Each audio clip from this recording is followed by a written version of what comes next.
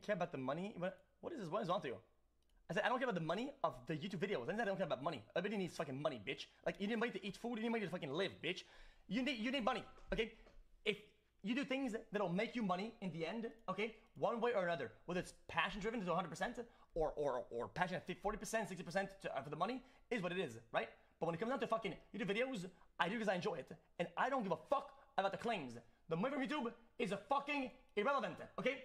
My editor pays himself from the pot. I don't even know how much he pays himself. He could be scamming me. I don't even know. I don't care. I don't care. I don't care. I don't care. I, I don't care. I could be I could be getting scammed. I haven't checked in months. Holy shit.